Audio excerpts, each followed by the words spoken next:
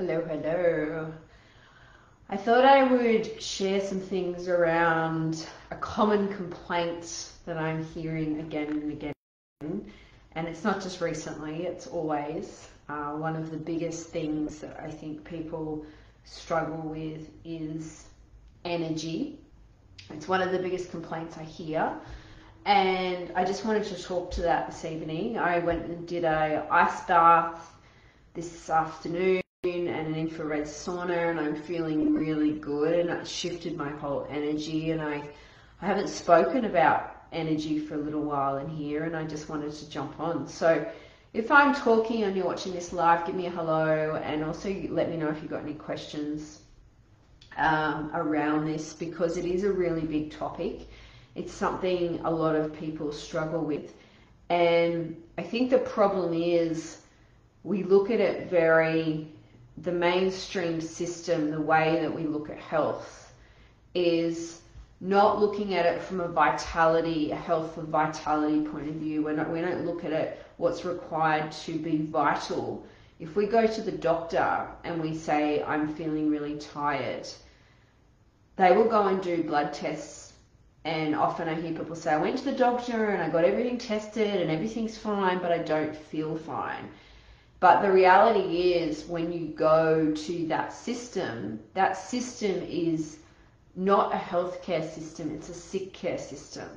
And I experienced this myself when I had my kidney out almost 13 years ago when I said, what do I eat and drink now? I've had this cancer and why did I get, why did I get sick and why did I get this tumor? And, and it was just, I didn't get any answers, but it was also just eat and drink as normal and they knew nothing about me. And so when I was asking those questions, like, what do I need to do now to look after myself, I was never going to get the answers and I had to go looking for my own answers. And so in that journey, I have learned many things and also had to overcome many mountains and milestones for my own self because I used to struggle a lot with fatigue and there's as different aspects to looking at this.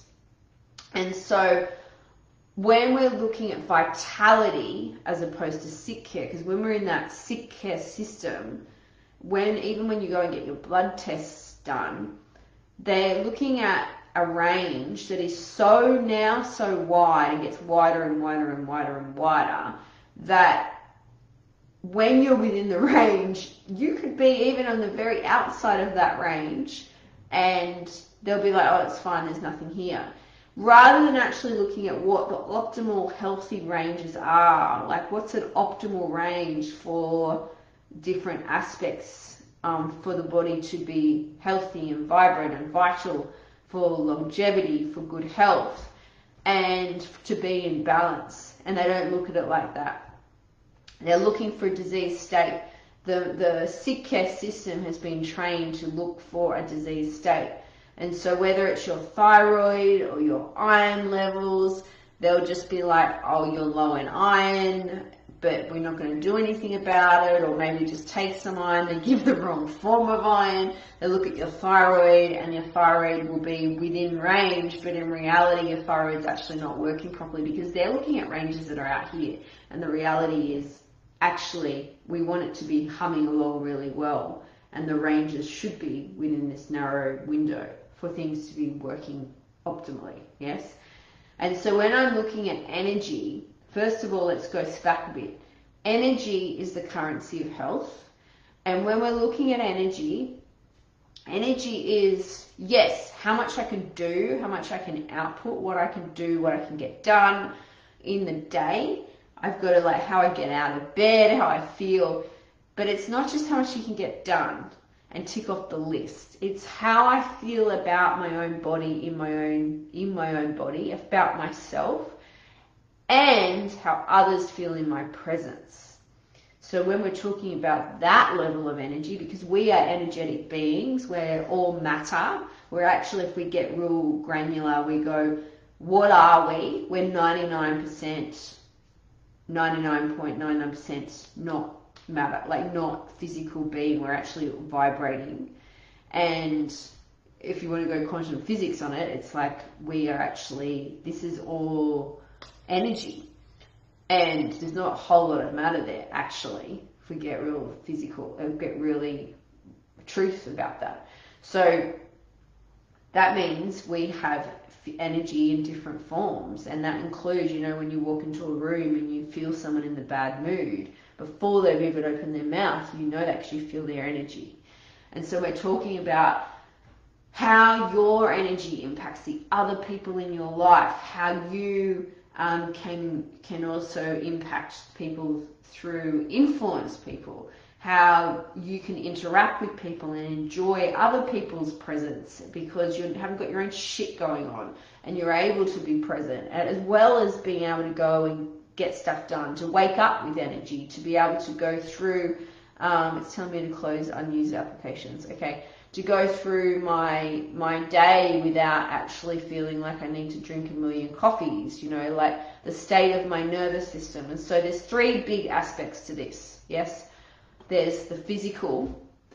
So my physical being, 3D reality, what I do, how I move my body, and structurally how that impacts there's the biochemical, so the food I eat, the vitamins and minerals I absorb, or the macronutrients, the carbohydrates, the fats, the proteins that get converted into energy. And then there's the, and all the aspects that impact that. The things that we're talking about your thyroid health, your hormonal health, that's the biochemistry.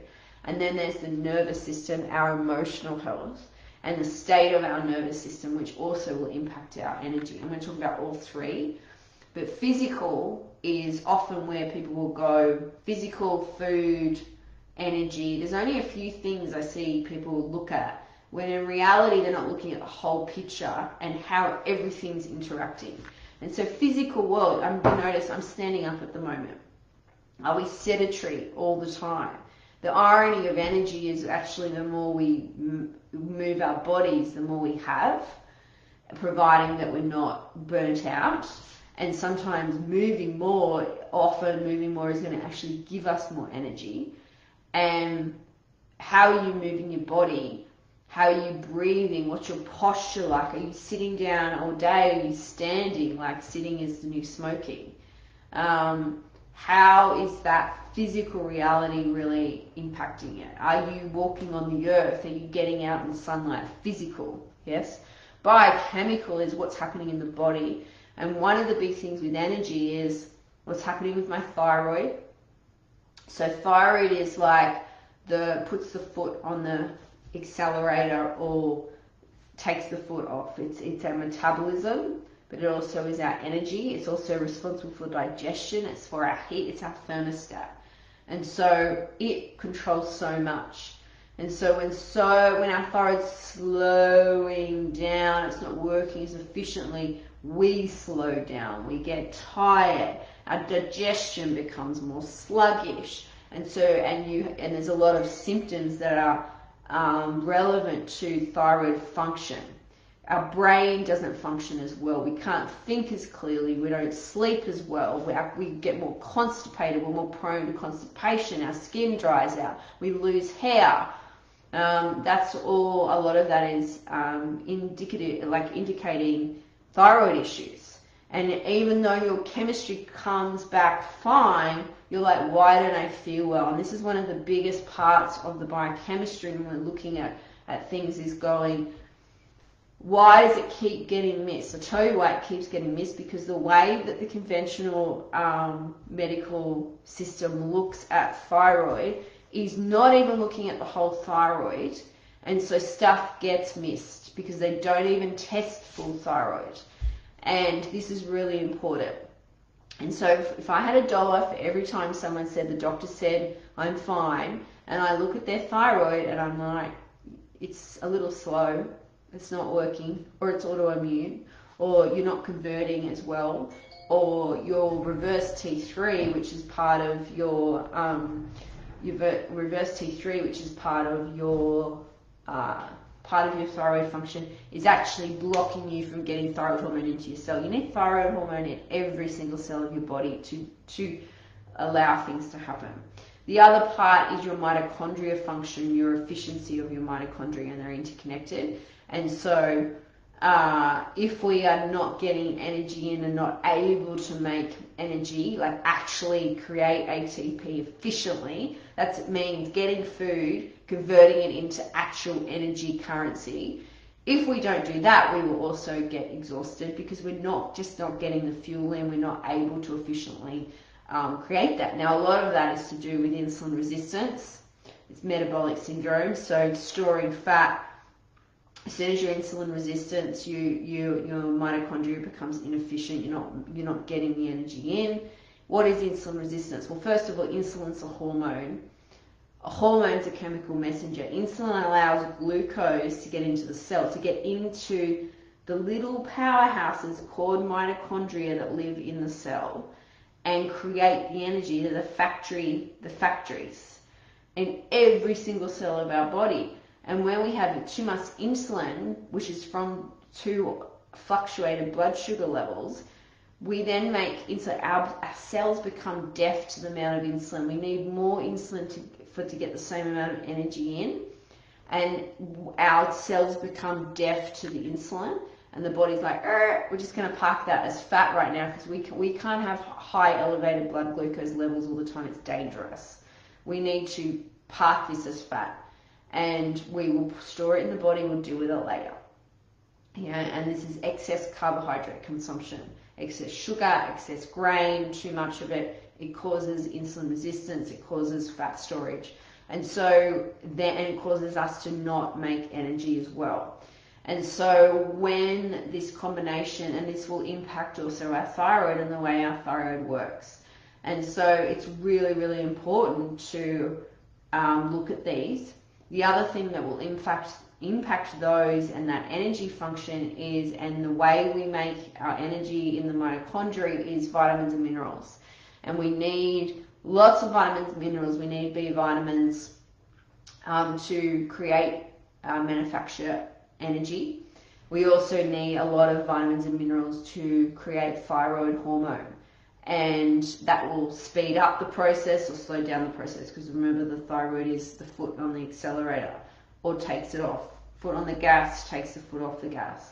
And so when our thyroid um, isn't working properly, often that's from a lot of vitamins and mineral deficiencies. And so that is really important. And that is the other thing is a lot of the time when, when people go and get tested for vitamins and minerals, First of all, they don't test all the minerals when you go to the doctor. They, a lot of things don't get. Iodine is really important for thyroid function and they do not test for it unless you pay for it. It is one of the main ingredients to thyroid hormone and they do not test iodine levels. Australian soils are very low in iodine. We do not have enough in our soil, as well as a lot of people now don't eat iodized salt. They put iodized salt in iodine in salt for this reason, because one of the causes of low iodine is, is a condition called goiter. And so they figured out, okay, if we put iodine, it stops goiter. But there's a lot of people even not eating as much bread as, as they used to. Um, our dairy production has changed. We used to, um, the pipes used to be cleaned with iodine. They don't have, that doesn't happen anymore. There's lots of changes happen to food production and the way people are eating I'm not saying go eat iodized salt, I'll talk about that in a minute, but that are impacting also our mineral status. And on top of that, things aren't being tested. And so this is really important. If you're thinking about also, by the way, having a baby, please, for love of God, go and get someone to test your vitamins and minerals and do it properly, including iodine. Really important for cognitive development of, of an unborn baby. You do not want to be low in iodine when you're pregnant, right? And so all of these vitamins and minerals that are important for our thyroid to function. We need selenium, we need iodine, we need vitamin D, we need zinc, we need our B vitamins, we need vitamin E. Like there's there's this whole array of things that we need for our thyroid to function properly that is going to impact our energy.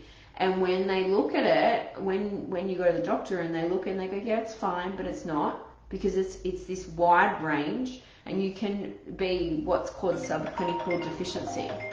And so that is really a big part of when we're looking at energy. And how does that happen? Okay, well, it comes through food we're eating and also how we're absorbing it. so if iron is one of the other things that people immediately go to, iron deficiency is really big in, in our culture. And there's often reasons for this that also get missed. So um, gut issues, gut um, parasites, um, bacteria overgrowth, a condition called SIBO that will affect iron um, absorption. There's a um, a parasite that can live in your gut called Helicobacter pylori, which can also impact, um, cause low iron. Celiac disease will cause low iron. There's, there's a few different things.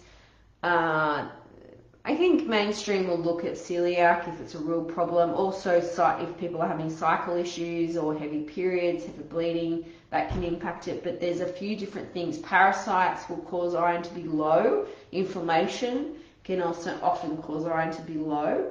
Other mineral balances of minerals, heavy metals can cause iron to be low because iron is used as a, as a, as a way to chelate other metals, um, to protect the body from other, from other things more damaging. Um, it's used in the inflammation process. There's aspect, different aspects to this, right? And so sometimes there's a lot of people that have issues with iron. It's like, why? Where's that coming from? You've got to do quite a bit of investigation and figure out where's why is there low iron. It's no good just consistently going through your whole life having low iron. Why is it low? Is it absorption? Is it through the diet not getting enough in? Is it uh, through other factors that could be impacting this?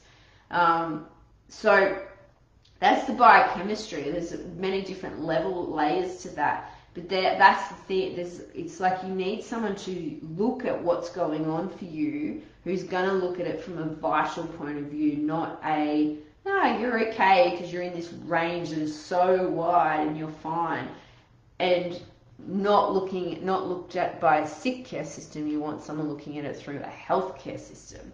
What is ta- what does it take to be healthy and vital and vibrant? What does optimal health really look like? um, what is that based on optimal levels of blood work and and um, and functional pathology rather than actual just oh yeah you're fine you're in range. I see so many people would be low in iron and actually it gets missed. So that's that's a big part of it. Um, and there's many things, many subclinical deficiencies that get be going on for a long time before they get picked up, if they get picked up at all, and there's long-term consequences of that. So when we're talking about energy, we want to go back to the the the, the key ingredients. What does it take to bake a cake? You know, like what are the fundamentals? What are the core ingredients that we need for our body to function well? And why is it being? Why is there a deficiency? And often it will be over long term. I saw a stat this afternoon. I was on another training um, that was like only 6.1% of Australians are getting their the recommended amount of fruit and veggies in each day. 6.1%, and that's crazy. They're not getting, and then you know, like it's it's uh, you five and two, five servings of veg, two servings of fruit. That's not even like World Health Organization has a lot more than that. And so when we're looking at energy, it's like, okay, what's happening from a biochemistry? We've got to start with the simple things of diet, but you've got to start to look at it properly with the levels and even the way that you're testing things, you know, um, and how things can be influenced.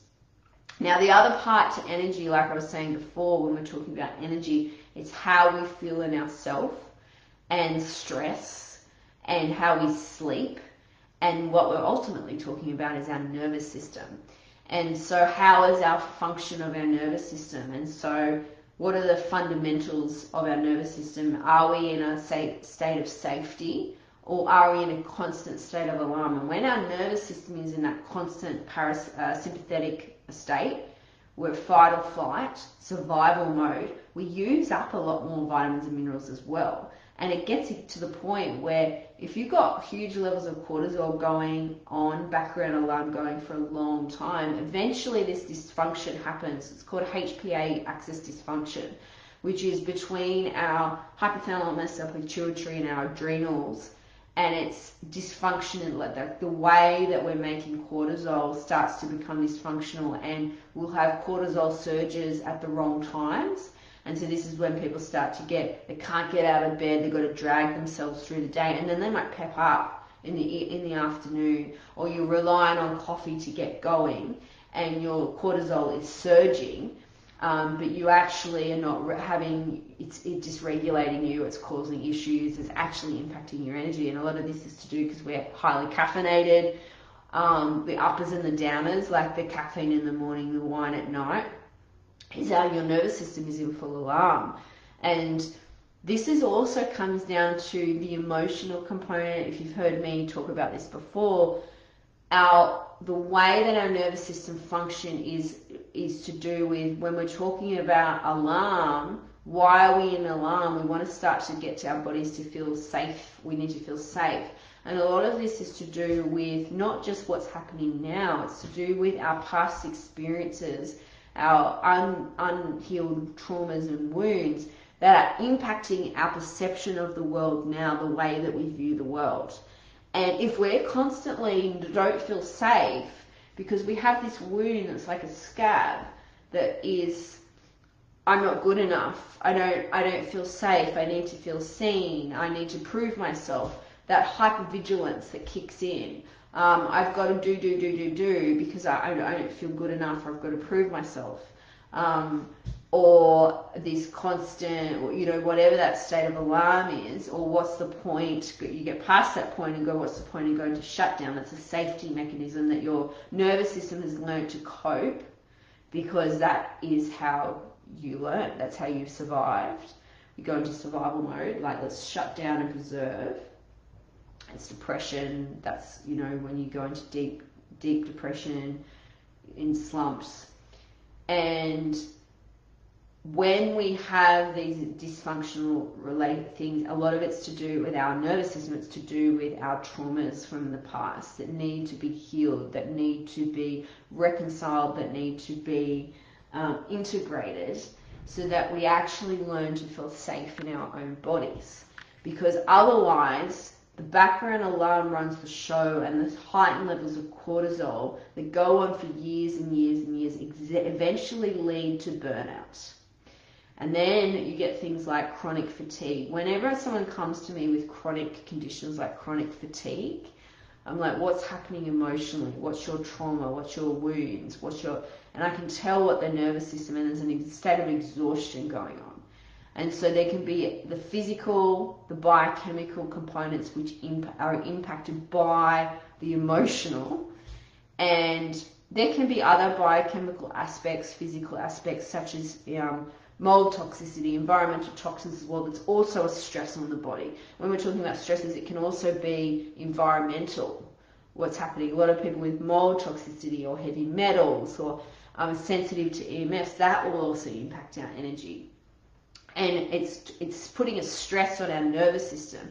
But for the big the big elephant in the room, out of every mama, is the wounds that we have, like that bag of rocks that we're carrying around, that is causing us to react, to feel not safe in our own bodies, impacts the state of our energy. And if someone has chronic fatigue, I'm like, what's their trauma?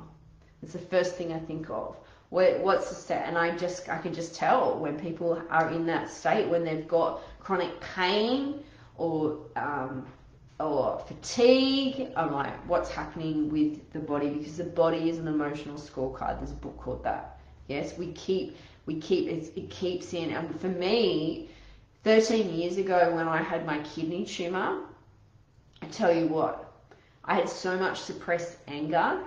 I was, it was like it got to the point where it's like coming up out of me and my tumor it literally burst the blood vessel inside the tumor and grew to this massive thing to the point where I then had to get my whole kidney and I've got this massive scar that goes from here to here. And it was a big motherfucker sorry but it was. And it, I've got a photo of it, and my kidney is there, and, the, and then the, the tumor which is inside, and then it bled, and it's it's like the anger exploded out of me because I had all this repressed emotion and these unresolved wounds, predominantly from the from my family, particularly my relationship with my father, certain experiences that happened to me as a kid, as a teenager, and they were heavy, me carrying it around. It was playing out in my relationships. And I just didn't know how to process it to the point where it actually manifested as a physical illness. And this is really, really common. And I was also exhausted. I didn't like my job. I didn't wasn't in a relationship I was happy. I wasn't satisfied. I was like, is this fucking it? Like, is there there anything better than this? And I was 26.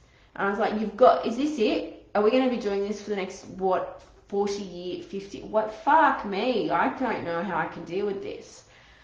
And a lot of the, the other thing to think about, I'm going down a rabbit hole here, but we also get benefits sometimes when we get sick because we get our needs met. And it met, I met my needs by getting connection and getting sympathy and you know I can go down that and that's another story for another day but it did meet my needs and I had to really like that is some deep work that I've done you know since then to really heal that but I can tell you the gift on the other side from an energy point of view is chalk and cheese you know it's night and day let's just talk metaphors so it, it like it it it just completely changed the way that I interact with myself, my view, my own self worth. It took a lot of time and I needed people to guide me through that and it took a long time. And this is the why I work the way I do because when we are uh, working with energy, we've got to look at the many different aspects.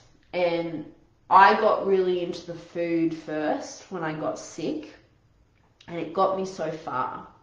But if you really want to work on a deep level of healing, you've got to work on the emotional root causes of what's going on from you. And if you are struggling with energy and fatigue, there is biochemical reasons, yes, 100%. Thyroid, um, but stress plays such a big role of it. And it's like, where's that root cause of that stress coming from? And often it's from our unresolved emotional wounds, aka trauma you know, which, you know, is you, that word is used a lot more now than what it ever used to be. We never used to talk about that.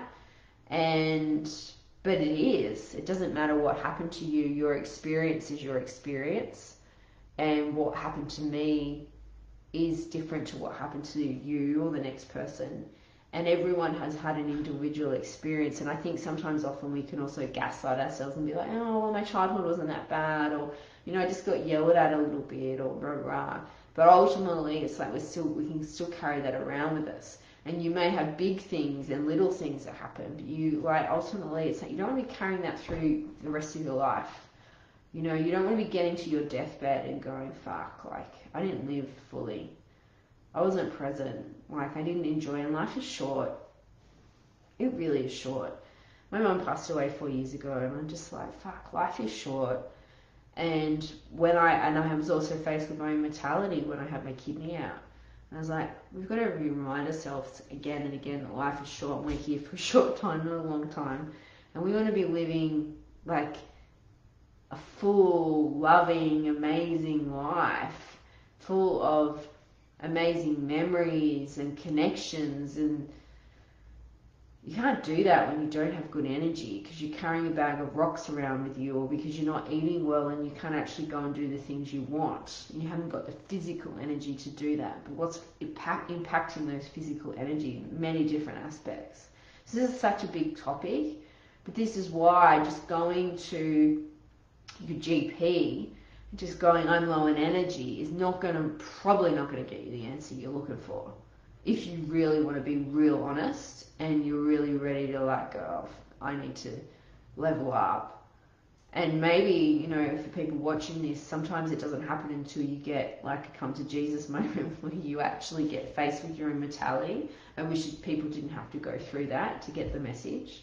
Or they're faced with a crisis like having miscarriages and not being able to get pregnant or, um, you know, um, going through death in the family or, you know, just really big life curveballs that life throws you. And then you're like, okay, hang on a minute.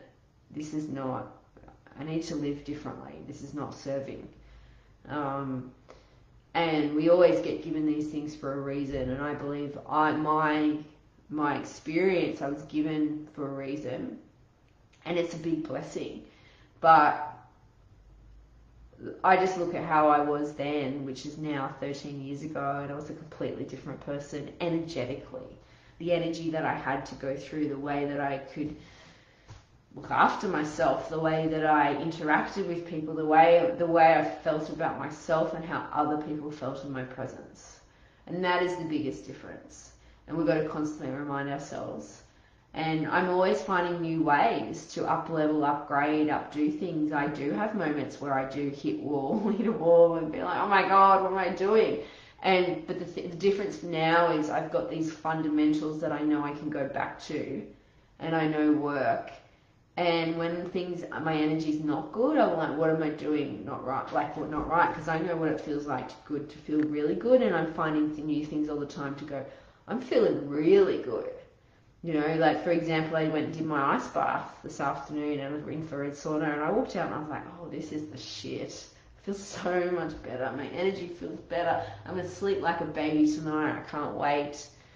Uh, it just gives, has gives me gives me a new zest to life um, my nervous system feels like it has this different ability to cope. And I do a lot of nervous system stuff on my nervous system, but it makes such a difference to our energy, the way that our nervous system functions.